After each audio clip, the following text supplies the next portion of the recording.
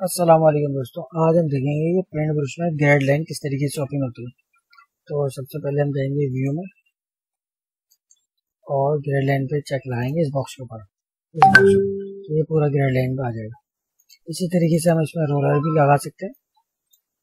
ये रोलर उसको हटा सकते हैं और ये नीचे जो स्टेटस बार आ रहा है साइज़ वगैरह बताता है, ये स्टेटस बार यहाँ से ये फिर स्क्रीन में आता है और यहाँ से जूम इन और जूम आउट भी कर सकते हैं।